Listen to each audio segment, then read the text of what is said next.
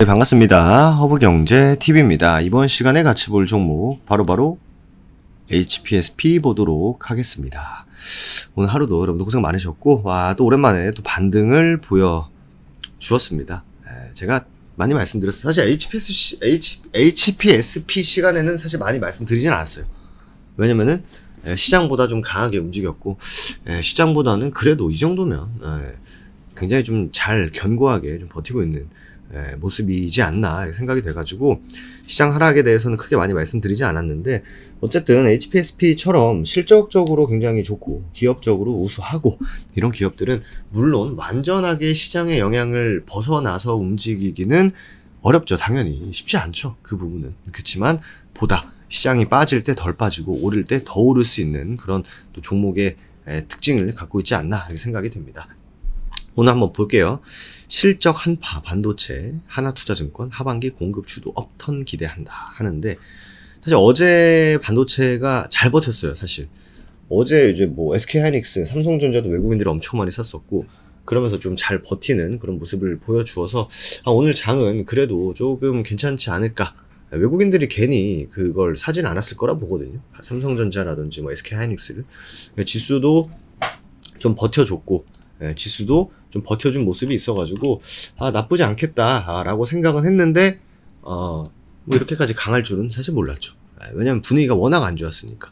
하지만 이거 리포트 최신 리포트는 아닙니다. 예, 이거 최신 리포트는 아니고 그냥 이제 뭐지 HPSP 같은 경우에는 이제 반도체 업황을 먼저 보고 그 다음에 그 안에서 또 HPSP의 이제 뭐 매력 이런 것들을 어, 얘기를 한 건데 에, 중소형주 장비주를 추천을 해주셨다고 합니다. HPSP랑 넥스턴 바이오 사이언스를 최선호주로 PSK 반도체 좋아하시는 분들은 다들 한 번씩은 다 들어보셨을 다 이름들이죠. 에, 중소형주 경우 HPSP의 경우에는 벤처들의 자금 조달을 목적으로 한뭐 이렇게 뭐 굉장히 좋았다 뭐 이런 내용이에요. 그러니까 이게 갑자기 뭐 새로운 게툭 튀어나오거나 예, 새로운 게 갑자기 나오거나 예, 그런 건 아니다. 예, 그런 건 아니고 단순히 이게 좋은 거다. 아, 좋은 기업이다 정도로 이제 증권사 애널리스트 분들이 쓰셨다 정도 보고 넘어가는 게 맞을 것 같아요. 여기 너무 깊, 깊게, 와, 이거 대박이네. 와, 이거 완전 장난 아니네. 뭐 이 정도까지는 사실 아, 아니다라고 보시면 될 것 같고 HPSP 같은 경우에는 여러분들이 알고 계신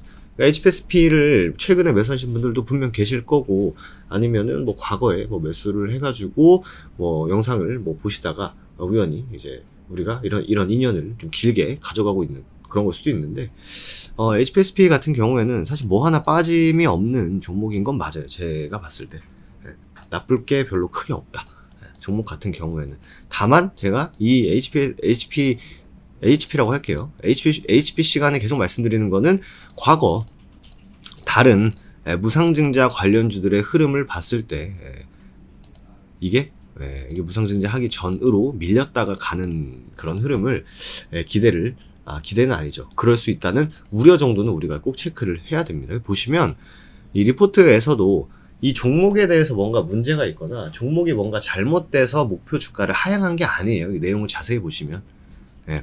그래서 우리가 화낼 필요는 없고 일단 아, 왜냐면은 무상증자 효과 때문이다. 예, 무상증자 효과 반영해가지고 일단은 예, 좀 눌릴 수 있다. 이런 부분을 좀 말을 한 것 같습니다. 그렇기 때문에 너무 깊게 저 내용을 볼 필요는 사실 뭐 없을 것 같고 너무 깊게 볼 필요는 없을 것 같고 우리가 봤을 땐 아, 그치. 어, 제가 이제 설명드렸던 부분, 네, 무상증자로 인한 어, 착시 효과, 권리락 착시 효과로 인해서 상승을 크게 보여줬고, 일단은 우리가 보고 있는 2만원, 2만 600원, 이 구간에서 지지를 해줬고, 에, 실적에 대한 기대감으로 일단은 반등을 해주다가, 실적 나오고 이틀간 밀렸어요. 이틀간 밀렸을 때 제가 어떤 종목이랑 같이 말씀을 드렸었죠? 레인보 로보틱스. 네, 그죠? 레인보 로보틱스처럼 이틀 동안 밀렸고, 오늘은 제가 볼 때 그냥 장이 좀 좋아서 반등을 한 게 아닌가. 즉, 결과적으로 거기서 그냥 머물러 있는 예, 그냥 자기 자리 잘 지키고 있는 그런 어, 상황이다 정도로 보는 게 맞을 것 같습니다. 그래서 우리가 특별히 뭐 엄청나게 더 의미 부여를 할 거는 없는 것 같고 지금 분위기가 반도체 아니면은 음, 바이오 느낌이 굉장히 시장에서 많이 풍기고 있어요. 많이 풍기고 있는데 에, 그게 반도체가 될지 바이오가 될지 모르겠는데 일단 바이오는 한번 반응을 했습니다. 누구? HLB가 오늘 스타트를 한번 끊었어요.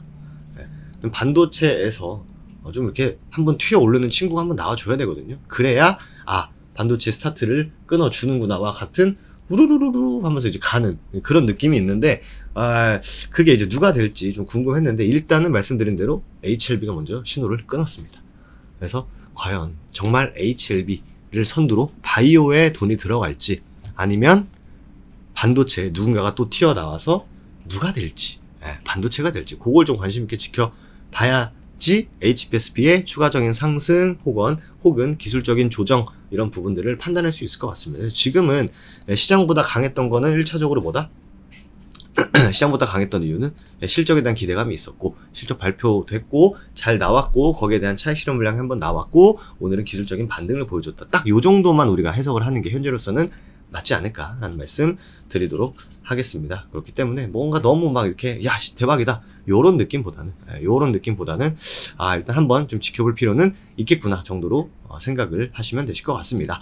아, 마지막으로 여러분들이 보고 계신 영상 댓글에 보시면 이렇게 채널 링크가 있습니다. 채널 링크 있고 어, 여기다가 이제 HPSP라고 남겨주시면 뭐 주도주 매매 저희 진행해 드리고 있고 추가적으로 저희가 여러분들이 HPSP뿐만 아니라 다른 종목도 좀 아, 분석을 좀 받아보고 싶다 하시는 종목이 분명 있을 수 있을 것 같아요. 예, 그럴 때 어, 남겨주시면 됩니다. 남겨주시면 저희가 그 종목 추첨은 아니고 예, 좀, 아, 그래도 이런 종목들 요청이 많이 들어오는구나와 같은 종목들을 분석해가지고 여러분들에게 어, 제공해 드릴 테니까, 어, 주도주 매매도 같이 한번 해보시고, 추가적으로 여러분들이 원하시는, 한번 궁금하다, 요 종목은 좀 궁금하다와 같은 종목 남겨주시면 저희가 그거 반영해가지고 또 좋은 영상으로 또 인사드릴 수 있지 않을까라는 말씀 드리면서 오늘 마무리하도록 하겠습니다. 보고 계신 영상에 댓글에 채널 링크 있죠? 여기 누르신 다음에 HPSP라고 남겨주시면 된다라는 말씀 드리면서 오늘 마무리하도록 하겠습니다. 저는 또 내일 다시 인사드리도록 하겠습니다. 감사합니다.